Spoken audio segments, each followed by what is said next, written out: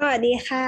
ก่อนอื่นเลยขอทักทายทุกๆคนที่เข้ามาดูวิดีโอนี้เลยนะคะ วิดีโอนี้เนี่ยเป็นวิดีโอที่เราตั้งใจทำมากๆเลยนะคะ ซึ่งเราจะเริ่มต้นวิดีโอด้วยการแนะนำตัวนิดนึงค่ะ ผู้ present นะคะ มีชื่อว่าสุธินันจันงาม รหัสนิสิตคือหกสามสามสามหนึ่งสามเจ็ดเก้าสองสามนะคะ เอาไปตีเลขได้อะแล้วก็ก็วันนี้นะคะจะมาขอ present เกี่ยวกับเรื่อง ที่ทุกคนอาจจะไม่รู้หรือว่าอาจจะรู้จัก แต่ก็จะมาทำความรู้จักให้มากขึ้น สิ่งนี้ก็คือสิ่งที่เราเรียกว่า oral thrush หรือว่าเชื้อราในปากนั่นเองค่ะ ถ้าพร้อมแล้วไปชมกันเลยค่ะ สวัสดีค่ะ วันนี้นะคะเราจะมาทำความรู้จักกับเจ้า oral thrush หรือว่าเชื้อราในปากนั่นเองค่ะเชื้อราในปากนะคะ เป็นอาการติดเชื้อในปาก ซึ่งเกิดมาจากเชื้อราแคนดิดา สามารถเกิดได้กับทุกเพศทุกวัย โดยเฉพาะเด็กเล็กและทารกจะพบโรคนี้เป็นจำนวนมาก อาการจะมาจากอาการเจ็บป่วย ผู้ที่มีภูมิคุ้มกันอ่อนแอหรือมีการใช้ยาบางชนิด ที่ไปกระตุ้นให้เชื้อรา มีการเพิ่มจำนวนขึ้นอย่างรวดเร็ว โรคนี้สามารถรักษาให้หายได้นะคะ อย่างเช่น การใช้ยาฆ่าเชื้อราเรามาดูเจ้าตัวแคนิดาซึ่งเป็นบ่อกเกิดของโรคนี้กันดีกว่านะคะ เจ้าแคนิดาเนี่ยเป็นเชื้อราหรือยีสต์ชนิดหนึ่งที่มีอยู่ในร่างกาย สำหรับร่างกายที่แข็งแรง เจ้าตัวแคนดิดาจะไม่มีการก่อให้เกิดปัญหาใดๆ แต่ถ้าหากเจ้าแคนดิดาเนี่ยมีการเจริญเติบโตที่มากจนเกินไป จะทำให้เกิดภาวะแคนดิดาซิสซึ่งจะนำไปสู่การเกิดอาการต่างๆ อย่างเช่น อาการท้องอืด อาการอ่อนเพลียเรื้อรัง ภาวะซึมเศร้า และที่เราจะเน้นในวันนี้ก็คือเชื้อราในปากนั่นเองค่ะ อาการของโรคเชื้อราในปากนะคะ เราจะแบ่งออกเป็น 2 ประเภท ก็คือในเด็กและผู้ใหญ่ และในเด็กทารกหรือผู้หญิงที่มีการให้นมบุตร เรามาดูกันเลยดีกว่าค่ะ อันแรกนะคะเป็นอาการในเด็กและผู้ใหญ่นะคะ มีทั้งหมด 6 อันนะคะที่เราจะยกมา โดยอันแรกเนี่ยก็คือการมีคราบสีขาวที่คล้ายกับฝ้า บริเวณลิ้น กระพุ้งแก้ม หรือเพดานปาก หรือบริเวณที่เหงือกและต่อมทอนซิล 2. คือการมีสีแดงภายในช่องปากและมีอาการเป็นแผลจนอาจส่งผลกระทบต่อการกินอาหารหรือว่าการเคี้ยวอาหาร 3. คือการมีเลือดออกซิบๆบริเวณที่มีการเป็นเชื้อราในปาก หากเราไปถูหรือว่าขูดบริเวณนั้น 4. มีแผลนูนเล็กเกิดขึ้น 5. ลิ้นไม่ค่อยรับรู้รสและมีอาการปากแห้ง 6. มุมปากมีอาการแตกเป็นแผลและอาจจะมีอาการอักเสบเกิดขึ้น ในกรณีรุนแรงคราบเชื้อราจะมีการแพร่กระจายลงไปภายในหลอดอาหารทำให้กลืนอาหารได้ลำบาก และมีอาการเหมือนมีอะไรติดคออยู่ตลอดเวลา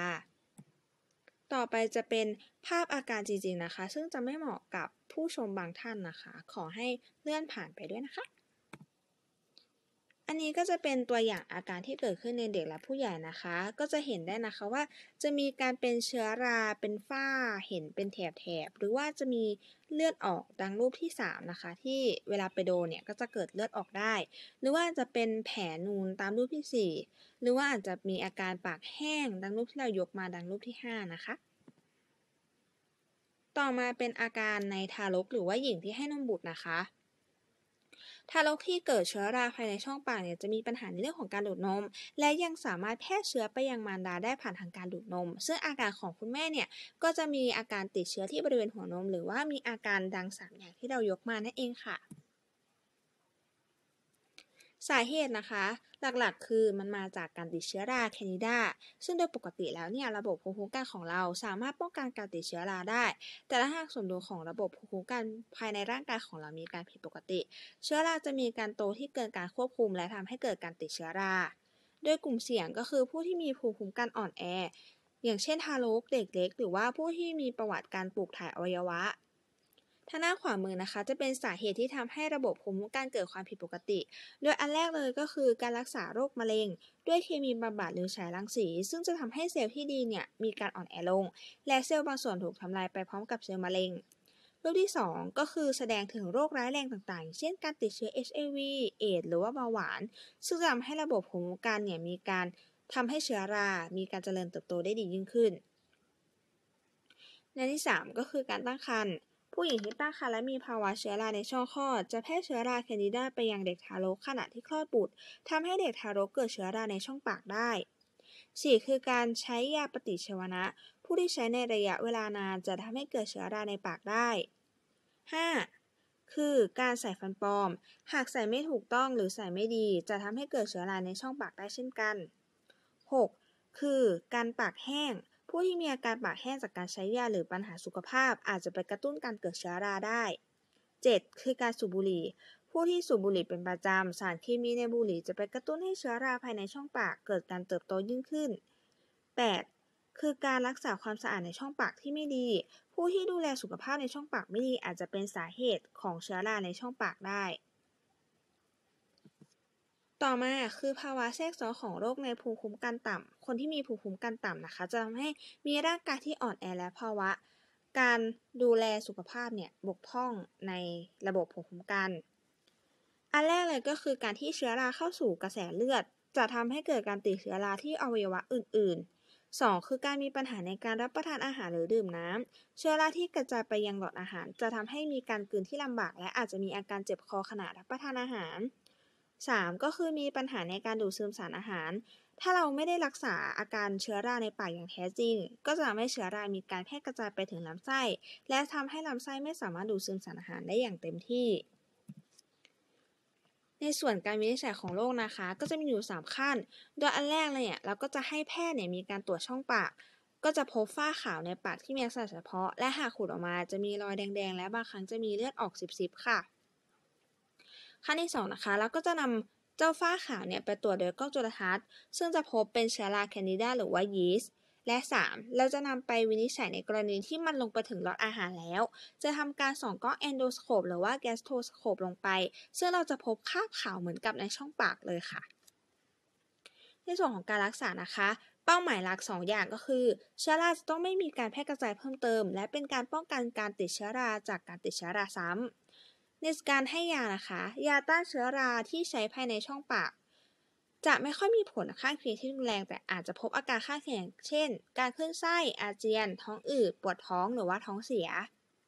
โดยส่วนใหญ่เวลาในการรักษานะคะ จะใช้ประมาณ 10-14 วัน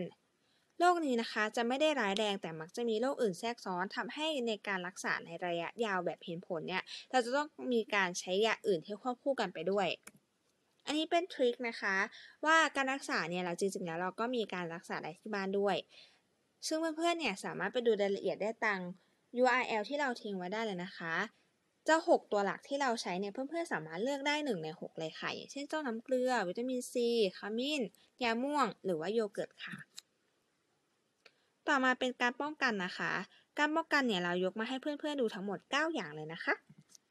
อันแรกเลยเนี่ยเพื่อนๆควรจะระวังในการใช้น้ำยาบ้วนปากหรือสเปรย์ฉีดเข้าปากมากเกินไป 2 เลยเนี่ยก็คือควรจะไปหาหมอฟันเป็นระยะเวลาระยะระยะเพื่อดูว่ามีสิ่งใดบกพร่องหรือไม่ 3. คือการหยุดการสูบบุหรี่ เพราะจะเป็นการกระตุ้นให้เกิดเชื้อราภายในช่องปาก 4. คือการบ้วนปากด้วยน้ำเปล่าทุกครั้งหลังจากมื้ออาหารเพื่อความสะอาด 5. ควรแปรงฟันอย่างน้อย 2 ครั้งต่อวันด้วยยาสีฟันฟลูออไรด์และมีการใช้ไหมขัดฟันที่ควบคู่กันไปด้วย 6. ถอดฟันปลอมออกมาทำความสะอาดทุกคืนในกรณีของผู้ที่ใส่ฟันปลอม 7.